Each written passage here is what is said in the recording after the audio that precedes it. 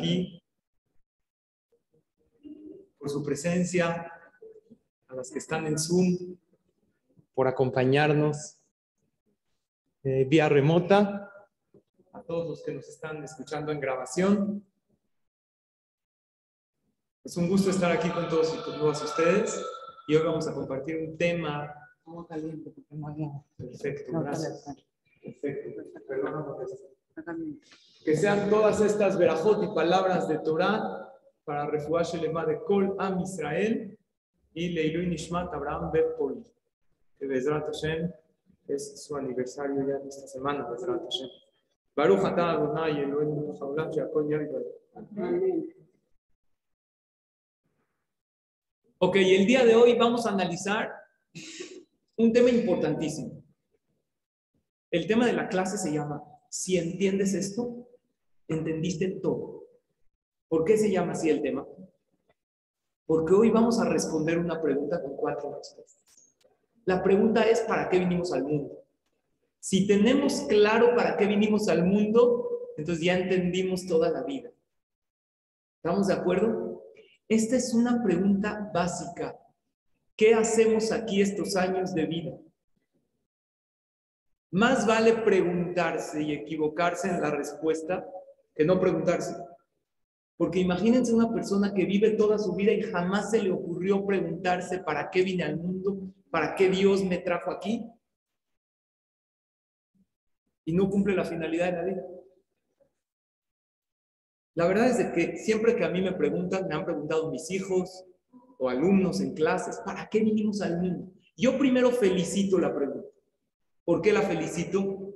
Porque hay gente que ni siquiera se lo pregunta y viven la vida sin pensar un solo instante qué hacemos aquí. Por lo tanto, Col acabó que estamos analizando este tema. Esta es una clase básica en el judaísmo. ¿Saben por qué? Porque el día de mañana, tengan todas ustedes larga vida, salud, alegría y verajá, nos vamos a ir de este mundo. Pero qué bonito sería irse de este mundo con una sonrisa en la boca y pensar, valió la pena haber vivido la vida como la viví. Y por otro lado, qué triste sería irse de este mundo y pensar, no me gustó mi vida, no la disfruté. Y más triste sería que después de 120 años Dios le diga a la persona, ¿para qué naciste? Te di vida. ¿Qué más te di? Salud. ¿Qué más te di? Familia. Te di parnasá. Te di casa. Te di ropa. Te di viajes. ¿Y no cumpliste con tu misión en la vida? Entonces, ¿para qué naciste? Por eso hay una parte en la tefila que decimos todos los días en la mañana, principalmente los hombres. Es una frase que a mí me pega cuando reflexiono. Dice, Loni Galarik, Belón Eled la Beala. Diosito, por favor, que no hayamos nacido en vano. Sería muy frustrante después de 120 años que nos digan allá arriba, no cumpliste con tu misión. Entonces, ¿cuál es mi finalidad en la vida? ¿Para qué estamos acá? Hoy les voy a dar cuatro respuestas. Y si vivimos bajo estos cuatro principios, yo les aseguro, les firmo, díganme dónde firmo, que después de 120 años, no después les trata. Primero aquí en esta vida vamos a vivir con una plenitud muy especial porque es la finalidad de la vida. Y antes de irnos de este mundo, después de una larga y buena vida, nos vamos a ir con una sonrisa en la boca, pensando misión cumplida. ¿Saben por qué quise hablar de esto? Primero que todo, porque hace poco uno de mis hijos me preguntó, porque yo estaba hablando en Shabbat, entonces, ¿para qué estamos en este mundo? Entonces empecé a desarrollar ese tema. Y número dos, porque lamentablemente, últimamente, me han tocado oficiar varias mitzvot, varias levayot en la comunidad. Y la verdad, yo soy muy sensible y, me pega esta situación, ¿no? Ver a alguien ya en sus últimas y, ir al Beta Jaim. Y pues sí, a uno se le cruza por la mente qué pasará. Cuando Dios me pida mi alma de regreso, Hashem, que todos tengamos larga vida y buena vida. Pero hoy yo les vengo a decir cuatro puntos para tener calidad de vida y para tener un sentido maravilloso en toda nuestra vida. ¿Les gusta el tema? Qué bueno, porque si no, ¿de qué hablaba? Es lo único que Va. Nosotros sabemos que hay un creador. Vamos a partir de ese punto. Tú ves un mundo planeado. No se creó de una explosión ni de casualidad. Hay un creador y hay una finalidad. Pero ¿saben a qué nos comparamos? Imagínense un soldado en el campo de batalla que está guerreando, tiene un arma y de repente a la mitad de la guerra recibe un golpe en la cabeza de alguien y cae desmayado. Lo reaniman, lo reviven, por decirlo así, y él se acuerda toda su vida menos la última media hora. Él se acuerda dónde nació, cómo se llama, nada más tiene un problema. No sabe, sabe que está en una guerra, pero no sabe de qué país es. Tiene un arma en la mano, no sabe hacia dónde pelear, no sabe quiénes son los amigos y quiénes los enemigos. Este soldado se encuentra en un gran problema. Porque si mata a alguien que es de su país, estaría haciendo mal. Algo así le pasa a la persona. Todos antes de nacer sabemos exactamente a qué vinimos a este mundo. Pero antes de nacer recibimos todos un golpe que se nos olvida. ¿Cuál es? En el labio, aquí tenemos una hendidura. Llega un malaj, un ángel, y le pega uno acá. Hasta el goy también. El goy también tiene una finalidad. Es humano. Nada más que el Yehudí tiene una finalidad más elevada, porque recibimos la Torah. Llega un ángel y ¿qué hace? Que se te olvide a qué viniste. Y de repente uno crece y empieza a ver las tentaciones del mundo y puede uno llegar a pecar por buscar placeres. La Torah no está peleada con los placeres. Puede uno viajar, puede uno comprar, nada más que hay placeres que destruyen la vida de la persona. Uno por buscar placer Puede Barminan destruir su matrimonio porque cometió una infidelidad. Uno por buscar placer puede destruir su vida porque estaba buscando llenar un vacío y se metió a las drogas. Esos son placeres que afectan a la persona. Se nos olvida a qué vinimos a este mundo. ¿Saben qué vamos a estudiar hoy? Hoy les voy a recordar lo que sabíamos antes de nacer. ¿Les gusta? Cuatro puntos. Para eso vinimos a este mundo. Y para eso estamos aquí. Y eso fue lo que estaba platicando en Shabbat en casa de ustedes. ¿Para qué? Si alguien te pregunta, ¿para qué vinimos al mundo? A ver, ¿tú qué tantas clases de Torah estudias? Pues te voy a decir para qué. Punto número uno. Se oye fácil, pero no lo es. Viniste a este mundo para ser feliz. Así de sencillo. ¿Cómo? Dios te mandó a un mundo donde la felicidad es fácil conseguirla por un lado, pero también es fácil perderla por los contratiempos que hay. Y nos olvidamos que esa es nuestra finalidad número uno. Hay gente que cree, y así se maneja en otras religiones, que para tener Olama va después de 120 hay que sufrir acá. ¿Conocen? Entre, no sé, los cristianos, los goí. El que quiere tener un Olama va especial se tiene que apartar de todo lo mundano y tiene que sufrir para después, o los árabes dicen que sí, matan eh, gente, lo esperan arriba después de 120 años, 70 vírgenes, 70 mujeres hermosas. A lo mejor lo espera una virgen de 70 años, es lo que él no sabe. Pero según el judaísmo no es así. No es sufrir acá para tener allá, no. Escuchen, es ser feliz acá para cumplir con tu finalidad. Y les voy a explicar por qué. Porque yo no creo en el Dios. Hay mucha gente que piensa en el Dios francotirador. A ver, ¿quién se portó mal? Eh? No yo. En los libros del judaísmo está que Dios es el que busca lo bueno de los demás, el que busca premiarnos. Y la idea es que todo lo que tú sirves a Dios y a tu prójimo lo hagas con un ingrediente, que es la alegría. En la Torah habla de recompensa, ¿verdad? Si haces esto, te voy a dar larga vida y te voy a dar salud, lleno. Una pregunta, ¿en la Torah también habla de castigos, de reprimendas? Sí. Sí habla. No nos las dicen mucho para no espantarnos, pero son consecuencias. La verdad es de que no. La mayoría de la Torah habla de la recompensa y del amor que Hashem nos tiene, pero también tenemos que ser honestos que hay consecuencias de nuestras acciones. A toda acción corresponde una reacción. Y hay, una, hay dos partes en la Torah, de hecho. Una la vamos a leer esta semana y otra se lee antes de Rosh Hashanah, que habla de cosas muy duras para el pueblo de Israel si nos apartamos del camino de Hashem. Y esas cosas muy duras, ¿han sucedido o no? Sí han sucedido.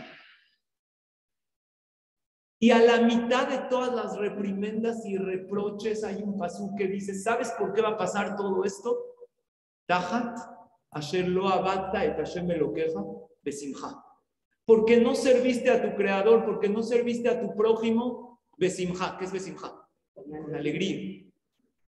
O sea, sí cumpliste mitzvot, ¿eh? pero tenías cara.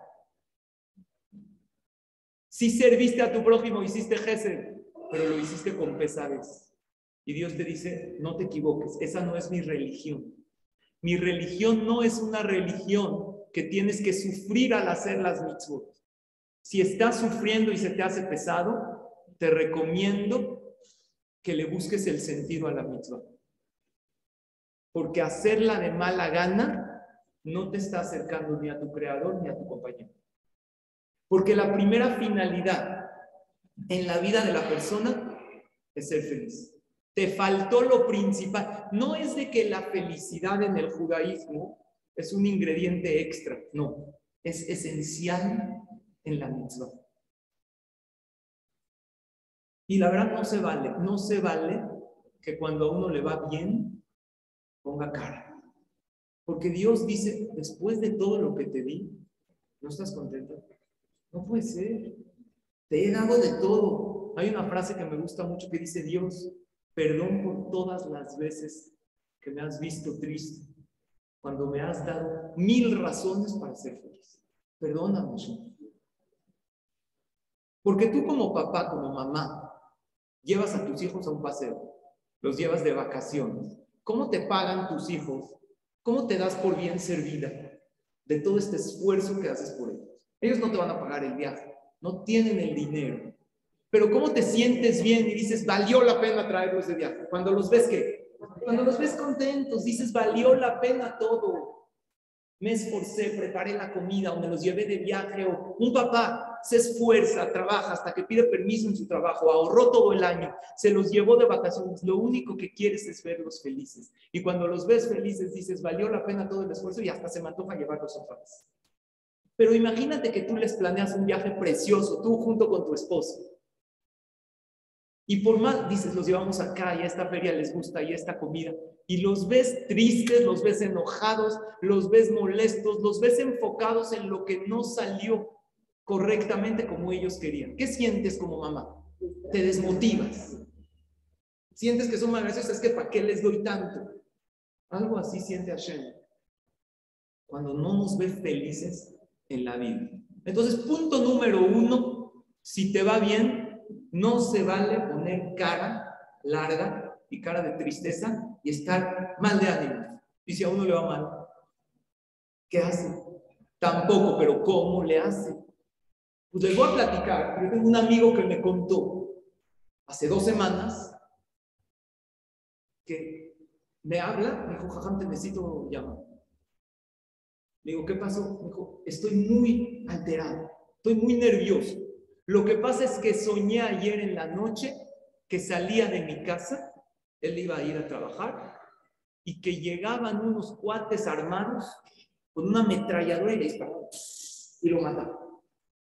Dije, ¿no habrás visto una película ayer de acción? Me dijo, no. Ahora yo les pregunto a ustedes, antes de, de decirles que le contesté, ¿los sueños tienen significado o no tienen?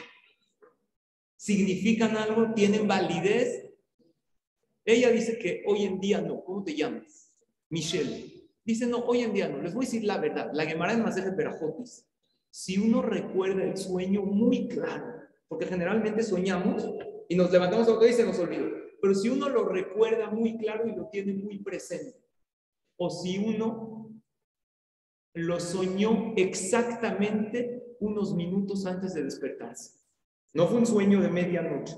La Gemara de Masaje Perajot en el capítulo 9 habla de todas cosas místicas. Dice, si uno soñó antes del amanecer o al amanecer ya antes de despertarse, sí tiene validez. Y la verdad, este cuate soñó que llegaban unos con una ametralladora y lo, mataban a, a tiros. Me dijo, ahora me da miedo salir a trabajar. ¿Qué hago? Él reza en su casa, se puso el tefilín. Dije, mira, te voy a decir. Dice la Gemara en de Berajot, que cuando uno sueña algo malo, que algo malo le va a pasar, que piense que eso malo ya le pasó. Que si yo merecía algún mal decreto de Hashem, ya lo pagué. Porque cuando uno está soñando algo, lo vive como si fuera real, ¿verdad? Sueñas que te está persiguiendo un león en el bosque. La adrenalina está comprobado. Tu cerebro segrega todo ese estrés, todo. O sea, lo estás viviendo como si fuera real. Ya te paras y dices, Baruch Hashem fue un sueño. Si uno sueña que algo malo le pasó o que le va a pasar, que piense lo siguiente. Si lo merecía, ya lo viví, ya lo pagué en sueño, ya no me va a pasar en la vida real. Y si uno sueña que algo bueno le va a pasar, sueña, imagínate que está rezando para que su hija encuentre un shidduch. Y sueña en la noche que su hija está vestida de novia entrando en el pasillo rumbo a la jupa.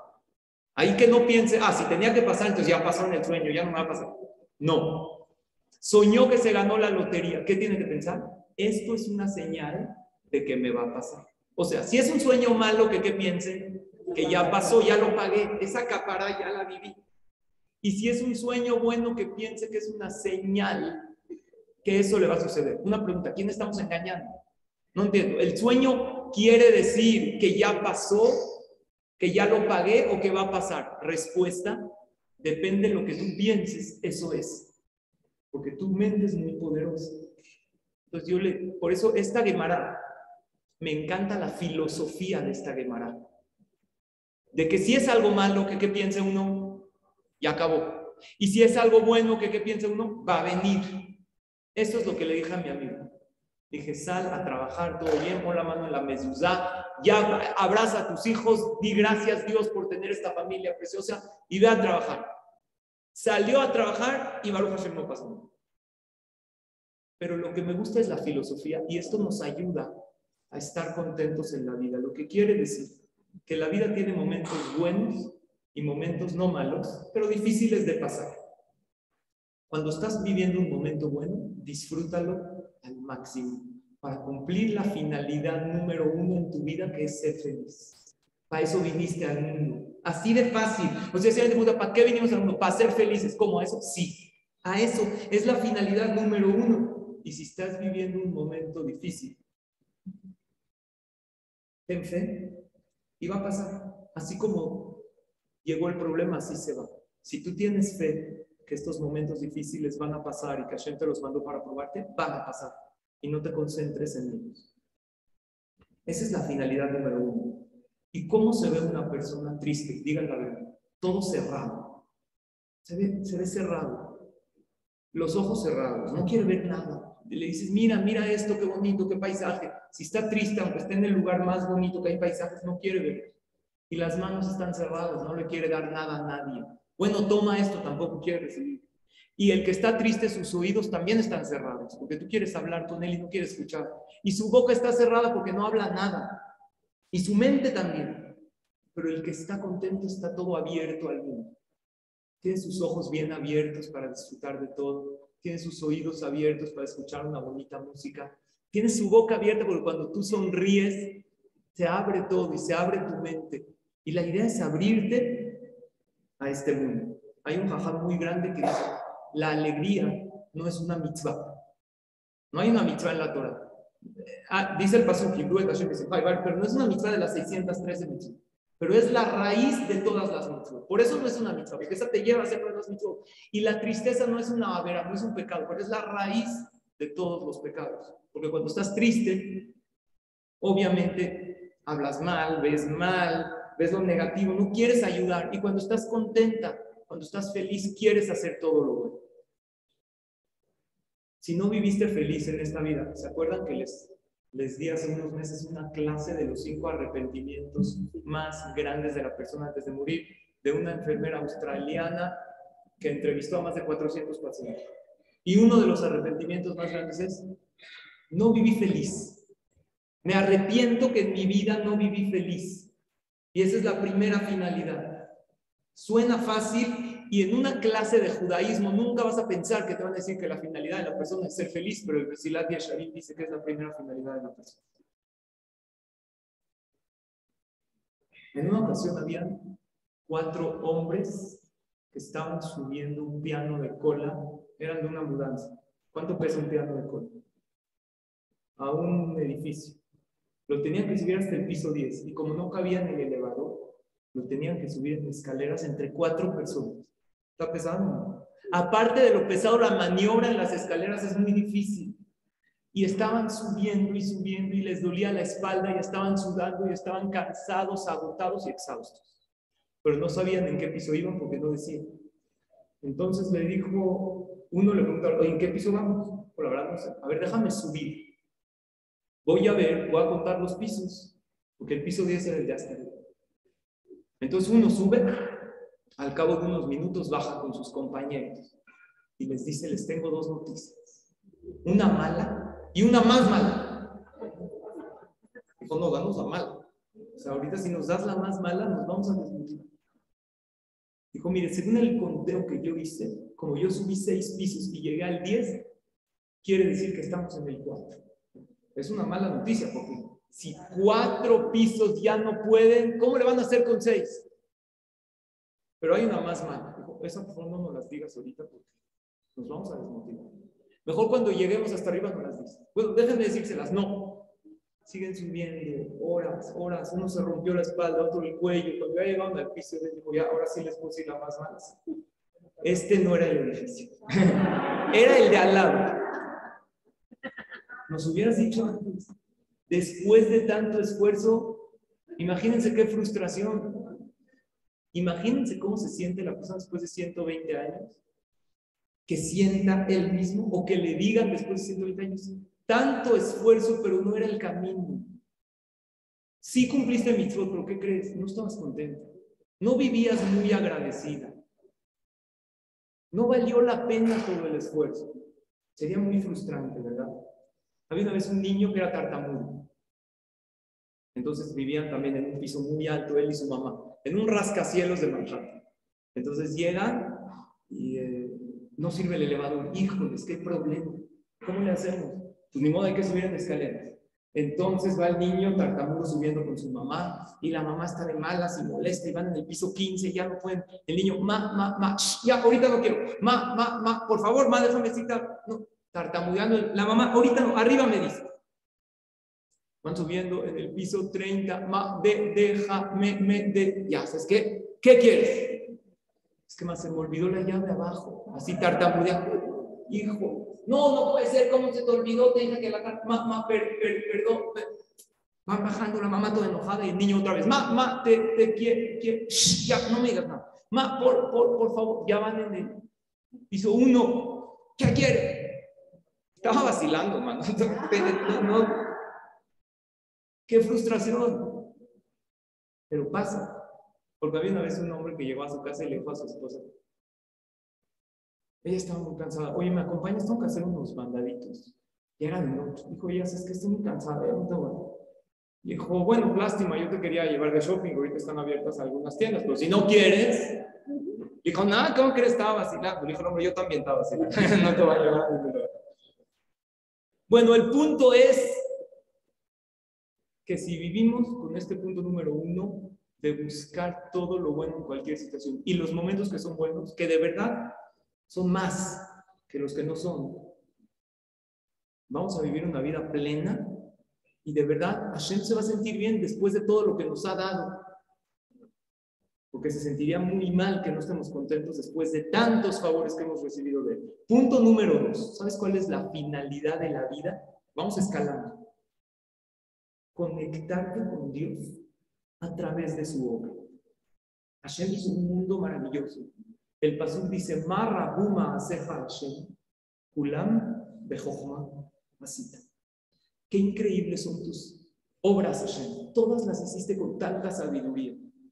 Y Dios creó un cielo hermoso para que tú en la mañana, cuando salgas de tu casa, no te subas directo a tu coche, que veas el cielo y digas, qué hermoso Dios, tú lo hiciste para mí. Y si tú pasaste por este mundo y no te maravillaste por la obra de Hashem, no cumpliste tu finalidad Oye, pero hice muchas mitzvot, ayudé, sí, pero te faltó algo muy esencial. ¿No viste la obra increíble cuando tú invitas a alguien a tu casa? Número uno, quieres que esté contento, ¿verdad? Oye, pues tengo mil broncas. Está bien, pero eres invitado, por favor, sonríe, ¿no? Eso es el punto uno. Yo nos quiere ver feliz. Pero ¿qué pasa si tú pusiste detallitos y el centro de mesa y la servilleta y el bajo plato y el otro, la argolla para agarrar la servilleta y pusiste flores? Y el invitado nada más llegó, comió, dijo muy rico. Es más, ni vio los detalles que tú pusiste para él, para estos invitados. No los agradeció, no los apreció. Te sentirías mal. Hashem hizo un mundo con muchos detalles, con muchas cosas bonitas. Y no tienes que estudiar anatomía o naturaleza. Simplemente con tus ojos admira la creación de Hashem y no te vayas muy lejos. Ve tu cuerpo y realmente ve lo increíble que este es. Nosotros no podemos perder la capacidad de asombro. Una persona que vive toda su vida y no se maravilló y no se asombró de un amanecer y no se no agradeció, no tanto decir gracias, dio todo por hecho, si va a llegar a 120 años y va a decir, no me encantó esta vida. No, no, no, no la viví intensamente. Y de ahí nuestra segunda finalidad en la vida que es no perder la capacidad de asombro. Por eso tú te paras en la mañana dices Modeani y dices Virkota Shahar. Son, estas no las puedes dejar de decir. Es más, a lo mejor por alajá la mujer cumple si dice gracias Dios y porque no tiene obligación de decir todo el texto. Pero ya no es de obligación, yo te digo, no te pierdas la oportunidad de agradecerle a Dios y de no perder la capacidad de asombro de, no sé, hay verajot que, ¿sabes qué es Matira Surim? Eres libre, que tú puedes ir y regresar a donde quieras y eres, e-, eres dueña de, de, hacer lo que tú quieres hacer. ¿Sabes qué es Zokef? Tú puedes caminar erguido, porque podemos ver, los animales ven caminan en cuatro patas pero nosotros, el cerebro, es lo que va hasta arriba y puedes admirar toda la creación de Hashem. ¿Sabes qué es? Amejin Mitzare. Es una veraja preciosa. Gracias Dios porque tú guías mis pasos. Y no dejo de sorprenderme cómo me llevaste hasta este lugar y conocí a esta persona que cambió mi vida. ¿Cuánta gente hay en la vida que impactaron tu vida positivamente, que tú ni siquiera pensaste o soñaste algún día conocerlas, y hoy en día son las personas que más quieres y admiras, ¿y cuánto te han ayudado? Hay una verajá en la mañana que le agradecemos a Shem por el amanecer. ¿Cuál es esa verajá? Anoten la sejvivina de Abhin, Ben Yom, Laila. ¿La ubican? No. ¿Qué es Anoten la sejvivina? El que le da al gallo inteligencia. ¿Eh? Exacto. Pero ¿por qué el que le da al gallo inteligencia? O sea, el gallo, hasta donde yo sé, no es de las aves más inteligentes. Yo he visto shows de pericos o de águilas, pero de gallos nunca. Hay peleas de gallos. Pero no, si has visto show de gallos, hacen eh, hazañas, eh, no hacen números. Eh, entonces, ¿por qué en la, verdad decimos el que le da al gallo inteligencia? Y aparte, ¿qué tiene de inteligencia distinguir entre el día y la noche? Cualquier persona que tiene una pequeña capacidad de razonamiento sabe si es de día o de noche. Tú preguntas a los niños chiquitos, a lo mejor no es todavía muy inteligente. ¿Es de día o de noche? Tú vas a decir, es de día, es de noche. ¿Qué tiene de inteligencia? Los jajamín explican, todos en verdad distinguimos entre el día y la noche pero pocos se sorprenden por un bonito amanecer. El gallo todos los días canta. Él lleva viendo el amanecer desde que nació, porque así Hashem lo hizo, que él se para antes del amanecer. Es el despertador natural que Dios creó. Y cada vez que ve un amanecer, le canta a Hashem y dice, wow, qué hermoso. Se pintó todo el cielo de blanco. hace algunos minutos estaba todo oscuro. Qué increíble, qué maravilla. Entonces, si el gallo puede admirar la obra de Hashem, él lo hace porque está programado por Dios. Pero tú que eres un ser humano que tiene razonamiento, puedes admirar la obra de Hashem. Y puedes admirar todo lo que tienes en la vida y no dejar de sorprenderte por todo lo que Hashem te hace. Y esa es nuestra segunda finalidad. La semana pasada fue el agua Omer, ¿verdad? ¿Qué sucedió el año pasado en el agua Omer en Israel? Una de las peores tragedias de la historia de la Medina de Israel, la tragedia de Mirón. Miles de personas se produjo una avalancha, fallecieron trágicamente 45 personas. Saben que hay heridos hasta hoy en día, siguen en el hospital. Hace un año, en operaciones, en cirugías. Muy difícil. Un papá contó algo increíble. Este padre llegó con su hijo a Mirón el día del agua Homer el año pasado. Vio muchísima gente, porque antes no había límite de entrar a, Mirón. ¿Han ido a la tumba de Rabbi Shimon Bar Yo sí, pero nunca fui en la Guam. Cuando yo estudiaba en Israel no nos dejaban ir en la yeshiva. Era un día para estudiar Torah, encendíamos velas y en vacaciones, así es muy bueno ir a la tumba de Rabbi Shimon Bar y pedir tefila. Este papá llega con su hijo, el niño de 14 años, y están a punto de entrar a la tumba de Rabbi Shimon Bar y ven cientos de miles de personas, no hay manera de entrar. Pero el hijo le dice, papá, es que yo quiero entrar. El papá le dice, entra, yo voy a ir al baño un segundo, te veo adentro. Pero para entrar hay que empujarse entre una multitud de cientos de miles de personas. El papá va al baño, eran como las doce y media de la mañana. Ahí fue cuando fue el accidente. Sale y empieza a escuchar gritos, policía. Ahí fue cuando pasó toda la tragedia. Esa avalancha de gente, porque estaban eh, sentados como en tarimas y una se, cayó, no saben exactamente qué pasó, pero hubo una avalancha marginal, algo, algo impresionante. Entonces este papá, desesperado, oye gritos, ve la gente de la sala entrando y dice, mi hijo está dentro. Mi hijo, y le intenta llamar, no hay manera porque las redes de celular colapsaron, porque todo el mundo empezó a llamar. Mi hijo está dentro, por favor dejen de entrar, pero no había manera. Él gritaba el nombre de su hijo, Moshe, no había, se quedó sin voz y los gritos de la gente eran mucho más fuertes. Pasa media hora y no lo encuentra y dice, después de media hora empiezan Barminan, los de la Jebraca, a sacar cuerpos. Y dice, es el peor momento que me ha tocado vivir en mi vida. Porque el Barminan pensaba, ¿y si Barminan su hijo falleció? No sabía si era un atentado, no sabían qué pasó, porque no había, en ese momento no hay radio, no hay nada. Después la gente escuchó las noticias. El que está ahí no sabe exactamente qué sucedió. Pasa una hora y no lo encuentra, pensando lo peor. Pasan dos horas y no lo encuentra. Pasan tres horas y lo ve de lejos así. Ahora, los que estaban hasta adentro no se percataron de todo lo que pasó porque el accidente pasó atrás. Entonces el papá empezó a abrazar a su hijo. Papá, ¿qué pasó? No, que la gente no escuchase, sí, oí un poquito de gritos a unos cientos de... ¿Pero qué, qué, qué sucedió? Pensé que eran festejos del agua. No, no sabes lo que pasó. Fuertísimo, gente va caminando y lo abraza y lo abraza. Y, y, el niño, bueno, ya, papá, y lo abraza y, y lo sube al coche y vámonos a la casa. Este señor, este hombre contó que llegó a la casa y empezó a abrazar a cada uno de sus hijos y a su esposa. ¿Pero por qué? ¿Qué fue lo que pasó? Que dijo este papá, lo entrevistaron, dijo, Jamás había sentido un amor por mi hijo como en ese momento, porque, porque toda la vida sí tenía a sus hijos, a su familia, pero siempre los dio por hecho. Cuando sintió que algo estaba en riesgo, cuando sintió que probablemente lo perdió, empezó a valorar. Y ese es el punto número dos. Nada darlo por hecho. Si te paras en la mañana y tienes a tu familia, los fuerte. Si hoy te paras y puedes ver valora esa visión maravillosa que Hashem te dio y ve cosas bonitas en el mundo y ve lo más bonito en los demás. Y no dejes de sorprenderte porque si así vives, vas a vivir una vida plena y una vida con sentido. O sea, el punto número dos, nuestra finalidad de la vida es ver el mundo y haz una conexión con Dios por medio de su obra.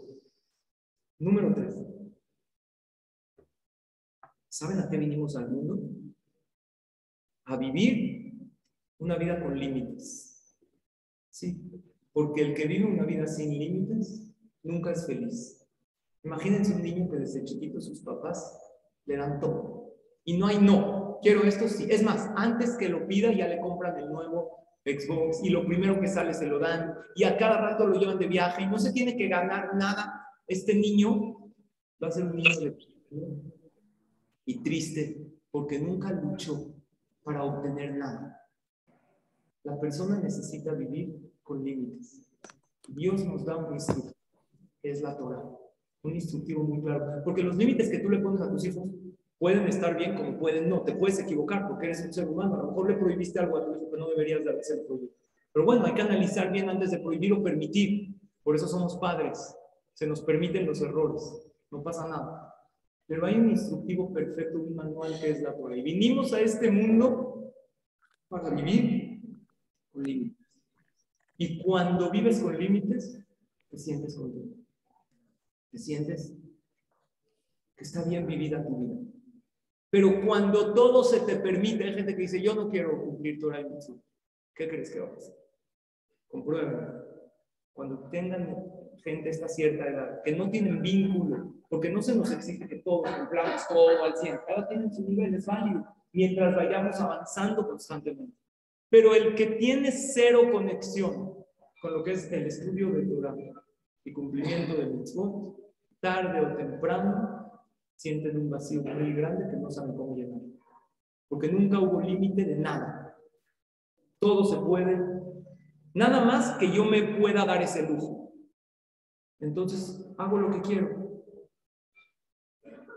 Pero cuando uno vive con límites, vive con una contención. ¿Qué es mejor, calidad o cantidad? Siempre es mejor calidad. Si uno tiene hambre, mucha hambre, ¿qué prefiere? Comer poquita comida pero deliciosa. Es una carne rica, no se va a llenar, es un pedacito, un buen vino, una ensalada rica. ¿Ya las ¿No? O comer mucho, pero feo, así no, no, no sabe, ¿no? ¿Qué es mejor? ¿Qué es mejor? ¿Dormir poquitas horas pero de buena calidad? ¿O dormir 12 horas pero no, no, alcanza un buen, una buena calidad de sueño? Se despierta, oye ruido, ¿no? Siempre la calidad es mejor. Apréndanse esta. Venimos a este mundo a vivir con límites. Los límites nos los pone Dios en la Torah. Y los límites no son para fastidiarte tu vida, son para que tengas calidad de vida. Eso es lo que la Torah te ofrece. Por ejemplo, tomemos una mitzvah sencilla y básica. La mitzvah de tevilá de la mujer que se tiene que separar un tiempo de su pareja. ¿Eso qué es? ¿Es calidad o es cantidad? Es pura calidad. A lo mejor una pareja que decide no y tienen libre albedrío, no respetar o cumplir esta mitzvah, tendrán más cantidad, pero no calidad. Y muchas veces, por tener tanta cantidad, sacrificas la calidad. ¿El kosher qué es? Calidad de alimento. Porque cuando tú puedes comer de todo, no valoras lo que sí. Pero el kashrut es una dieta que beneficia tu alma. Entonces, cuando tú te lo comes y dices una veraja, a lo mejor no puedo comer a donde vaya y lo que se me antoje, sí, pero lo que sí como y sé que estoy haciendo lo correcto es una calidad para mi cuerpo y para mi alma. Eso es lo que la Torah nos ofrece. Y la Torah, si ustedes se dan cuenta, en este, todo tiene un manual, todo, todo, todo, todo. ¿Tú sabes cuántas funciones tiene tu celular que tú ni estás enterado? A mí me han enseñado, porque a veces tengo que mandar un documento por escáner. ¿Cómo no sabes? Ahí en las notas del iPhone pones esta función, esto y lo mandas y se escanea perfecto. O puedes darle mejor calidad a tus fotos, puedes, pero si tú nunca lees el manual, tiene un instructivo. Todo tiene. Este reloj que me regalaron, ¿les gusta? Está bonito. Tiene un manual de instrucción, 200 hojas. ¿Qué puede tener? Dime cuál puede ser el instructivo de un reloj. Si quiere ver la hora, hágase. Si ya no quiere, bajo la mano. Si quieres ver la fecha, ¿qué puede tener? Pero aunque no tenga tantos detalles, siempre viene con un instructivo. ¿Tú crees que este mundo tan complejo, con tantos miles de millones de habitantes, no haya un manual de vida para ver qué es lo correcto y qué es lo incorrecto? que Dios nos va a aventar así, sin darnos un instructivo. Entonces hay un instructivo muy claro que es la Torah, que es válido decir, esto por ahora no, voy de a poco, empiezo con esta mitzvah. Súper válido y lo hemos hablado mucho en las clases. Pero una de tus finalidades de vida, y de hecho es la tercera, es vivir bajo un manual que tiene límites por tu bien. ¿Tú le pones límites a tus hijos? Sí. ¿Sabes cuándo te equivocas? Cuando tú, cuando tus hijos sienten que los límites son para molestar. Ma, ¿esto por qué no puedo? Así, no quiero que El niño siente, mi mamá no quiere que disfrute de la vida. No, quiero que disfrutes. Pero si te pasas, si te excedes en alcohol, por ejemplo, en el Islam, el alcohol es prohibido, como el hazir para nosotros.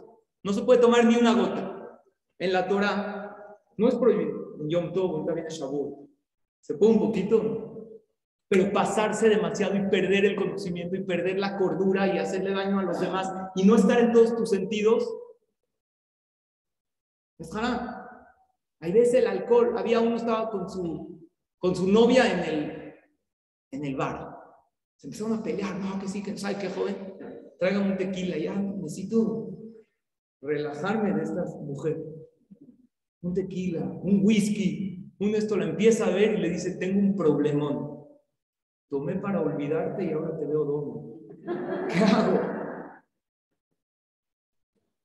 Había un bar que tenía un letrero que decía, si usted viene a beber para olvidar, pague por adelantado. Se puede tomar un poco. La Torah tiene límites claros. Pues no te pases de los límites que son por tu bien. En el año 1940, y ya voy al cuarto punto, ¿Vieron fotos de los primeros automóviles? No, muy viejos. Los primeros automóviles allá por los 1900. En el año 1940 sucedió algo, que había un señor manejando uno de esos primeros automóviles y de repente se le paró a la mitad. No había mecánicos en cada esquina. Eran los primeros coches de la historia de la humanidad. Entonces el coche no arranca. Abre el cofre, ve que sale humo, no entiende nada. Pasa ahí uno, oye, ¿qué hago? No sé. ¿Cómo le hago para que arranque? Pues, ¿Quién sabe? No te puedo ayudar. De repente pasa otro automovilista, un viejito, un anciano, se orilla junto a él, se para, empieza a observar el coche y le dice, yo creo que lo que tú tienes que hacer es apretar un poquito esta tuerca que se afloja. Este hombre ve al anciano y dice, ¿este qué sabe? Los coches acaban de inventarse ahorita. Le dice, hazme caso. Este para no hacerle feo al anciano, dice, ok, ¿qué, qué tuerca apretó? Este. La dice, ahora sube.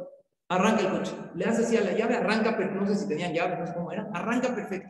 Este se le queda viendo al anciano sorprendido. ¿Usted de dónde sabe tanto? Le extiende la mano y le dice, soy Henry Ford. Mucho gusto. Yo fabriqué este vehículo y conozco cada pieza y pieza de él. Si quieres que arranque, tienes que hacer eso. Muchas veces en la vida las cosas no caminan, ¿verdad? esto no arranca. Y llega Dios en la Torah y dice, nada más, mejor en esta misión. Pero Dios, esto que tiene que ver, hazme caso. Yo te conozco perfecto. Te di una Torah no para molestarte. Si quieres que, en tu vida las cosas arranquen, muchas veces, no siempre, lo que tienes que hacer es ajustar una tuerca, una mitzvah que llevas un poco descuidada. Y muchas veces a Jamín dicen que el contratiempo que tienes está relacionado con la mitzvah que necesitas mejorar. Como por ejemplo, que no siempre es así, si hay problemas de dinero, mejorar la tzedakah. Hay veces si hay problemas en una pareja de hijos, mejorar su shalom bay. No siempre, pero muchas veces está relacionado porque es Dios que te está diciendo en la Torah, yo te conozco, yo creé este mundo, te conozco cada pieza y pieza de ti, conozco toda tu vida, incluso tus vidas anteriores que ni tú. Aquí te va un manual de vida, que si lo respetas y lo cumples, sí, no siempre es fácil, pero vale la pena. No es fácil comer sano, pero vale la pena a la larga. Siempre se ve más fácil hacerlo fácil, valga la redundancia, que hacerlo correcto, pero a la larga siempre es mejor hacerlo correcto que hacerlo fácil. El, la Torah es un manual para hacer lo, que, lo correcto, no lo fácil. Esa es la finalidad número tres. Y la finalidad cuatro, y con esto acabamos la clase. ya llevamos tres. Ser feliz. Para eso viniste al mundo. Y si entendiste esto, entendiste todo el sentido de la vida. Conectarte con Dios por medio de su creación es la dos. Vivir con límites, que es la tres. ¿Cuál sería la cuarta finalidad? Es más, yo les voy a hacer una pregunta para que ustedes solitas piensen cuál sería la cuarta finalidad. ¿Por qué Dios nos creó en un mundo con gente, con sociedad? Si mi finalidad es ser feliz, puedo ser feliz solo. Es más, soy más feliz en una isla desierta, nadie me molesta. Si mi finalidad es maravillarme de la obra de Hashem, puedo hacerlo estando solo. Si mi finalidad es cumplir una Torah, pueden haber mitzvot que no tengan que ver con los demás. Pero si Dios nos creó en sociedad, quiere decir que aquí hay una cuarta finalidad esencial. ¿Que cuál es? Si Hashem nos creó en sociedad, quiere decir que hay algo aquí que tiene que ver con los demás. ¿Qué sería? ¿Eh? ¿Perdón? Muy bien, vamos a extenderlo más. Dejar un legado en este mundo y transmitir a los demás paz, tranquilidad y lograr la armonía. Primero que todo a tus hijos, a tu pareja y a la gente en general. La pregunta es, ¿qué huella dejas hoy en los demás? Porque el día de mañana no vamos a estar en este mundo. Y la huella que dejemos hoy es lo que va a ser mañana una diferencia. Porque nosotros hacemos impacto en las vidas de los demás, estando vivos y también después de 120. Como les dije que me ha tocado presenciar Levayot y Mitzvot. Y sí, tú ves gente que dice, mi abuelito nos enseñó esto, esto nunca lo voy a olvidar. Ayer que precisamente tuve un garush, uno de los nietos me preguntó, Jajam, ¿puedo decir que mi abuelito me enseñó todas las groserías y cómo decirlas? Y dije, ¿por qué quieres decir eso? Dijo así, porque él tenía un sentido del humor muy especial, así como usar las groserías, y cómo decirlas. Y esta es así, dije, eso mejor no lo. En un darush no. Di las mitzvot que hizo el jefe. Refiérete a otra cosa. Pero sí es cierto que hay gente que ya se fue de este mundo y nos siguen dando legado, ¿verdad?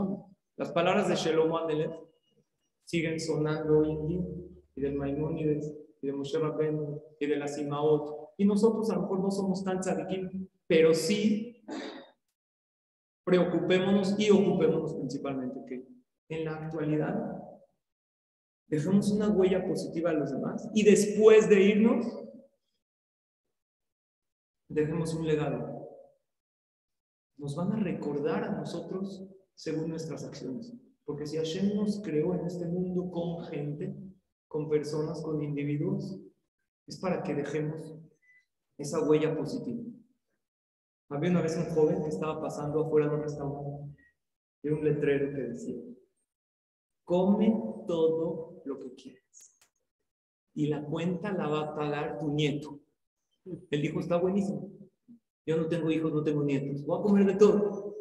Entra, llena, dijo, yo quiero esta promoción. Adelante. Llena aquí este formulario, cómo te llamas, quién eres. El día de mañana nosotros nos encargamos de cobrar la tienda. Él estaba feliz. No porque mi nieto me recrimine, come, pide de todo. Estaba lleno, pide más. Pero puedo pedir todo, lo va a pagar su nieto. Ya está a punto de salir llenísimo. Le dice el mesero alto tiene que pagar la cuenta. Dijo, ¿qué cuenta? No, no, la cuenta de su abuelo. Él la dejó aquí. Llegaste tú. Hay cuentas que uno deja en la vida. Estando vivos 120 años, tratemos de que todas esas sean cuentas bonitas, que hayan recibido de nosotros enseñanzas. Porque, ¿qué es el éxito en la vida? El éxito no tiene que ver con el dinero que acumulas o con el poder que tienes. El éxito tiene que ver con cuántos ojos haces brillar con tu presencia. Si tú estás en un lugar y te ven con admiración y dicen, yo quiero ser como él, o piensan, eso es tener éxito en la vida. Y eso es hacer de este mundo un lugar mejor. Y si vives bajo este cuarto punto, vas a vivir una vida plena y al entregar nuestra alma de regreso, vamos a pensar, valió la pena porque no vinimos nada más a consumir el mundo. Hay gente que por su paso en este mundo lo consumieron, comieron toneladas de comida, desgastaron el mundo, provocaron el calentamiento global con la basura que y se fueron. Lo que hay que hacer es hacer de este mundo un lugar mejor.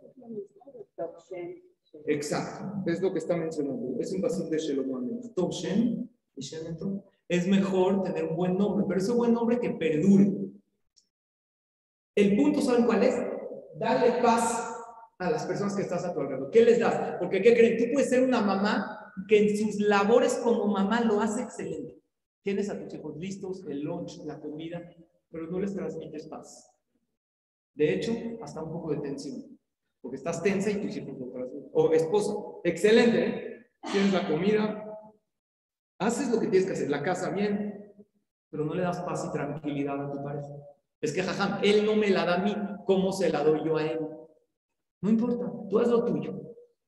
Preocúpate de ser, ocúpate más bien dicho, de ser una persona que transmite a los demás que paz y tranquilidad. Esa sería tu cuarta finalidad. ¿Cómo se dice rey en hebreo? Ahora sí ya con esto. Melech. Melech es rey. La Torah dice que el rey, antes había un rey de Israel, no puede tener tres cosas. ¿Quién sabe cuáles son las tres restricciones del rey? Dice la Torah, no puede tener, tiene que haber un rey de Israel, pero no puede tener que, ¿quién sabe?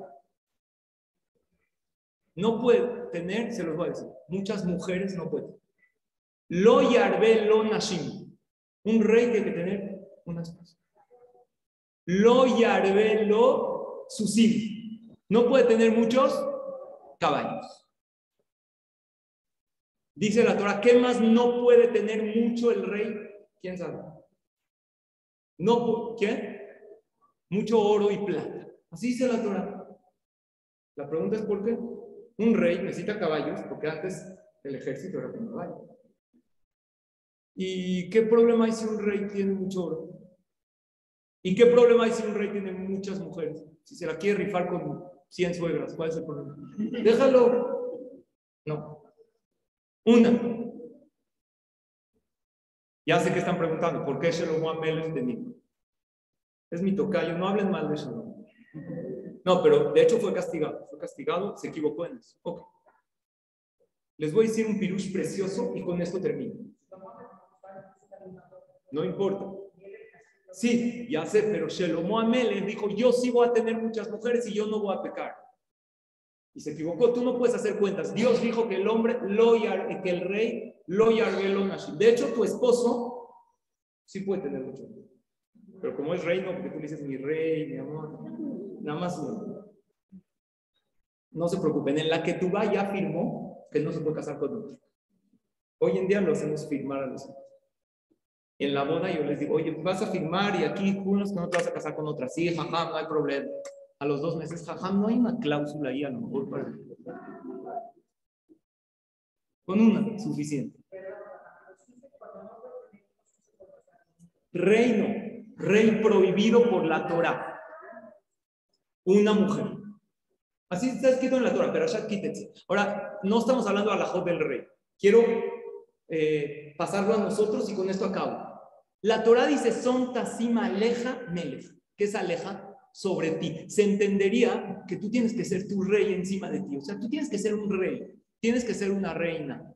Y, vean qué bonita explicación. Como rey se dice melech. Mem es moaj. Lamed es leve, corazón. Kaf es cabeza, hígado. Dicen los ajamín. Y ahorita van a explicar, van a ver por qué las tres no puedes tener. Porque la Torah dice así. No puedes tener muchos caballos. ¿Qué representan los caballos? La velocidad. Esa es tu mente, tu moja. No puedes ir tan rápido en la vida. Analiza las cosas. Si tú eres un rey, tienes que tener una mente analítica. ¿Sabes cuándo te das esos minutos de analizar tu vida? Ahorita. Cuando una clase de Torah y dices, ¿qué hago en mi vida? ¿De qué sirve ir, venir, correr? Date un tiempo para estudiar Torah, para entender la profundidad de la vida que estás viviendo. Vale la pena. Siempre les digo, es el mejor tiempo invertido de tu vida. Además de darte paz, tranquilidad y felicidad. Vives diferente tu vida cuando tomas clases de Torah, ¿verdad no? Me lo dan por compromiso, díganme la verdad.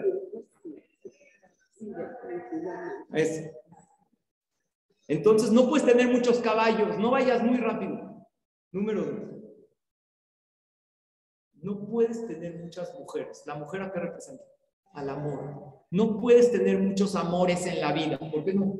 No puedes amar todo. Amar lo malo no lo debes amar. No puedes amar. Hay cosas que no tienes que amar. Amar el dinero. El dinero es un buen medio. Pero no te obsesiones. Tú tienes que, si eres un verdadero rey, tienes que tener amores primordiales. ¿Cuáles son los amores primordiales? Amar a Shem. Amar a quién más. Amarte a ti como eres, acéptate, déjate ya de estar persiguiendo, por qué lo hice. Ya, ámate, acéptate como eres. Amar a tu familia. Porque hay gente que ama más el dinero, entonces abandona a sus hijos. Eso es leve. Y cabe son las acciones. Y esto representa al dinero. No puedes hacer acciones para ver qué recompensa vas a recibir. Si hago esto, ¿qué me dan a cambio? Tú tienes que hacer lo, lo correcto porque es correcto. Sí es verdad que hay veces esta mitzvah te da cierto pago, pero no lo tienes que hacer por eso.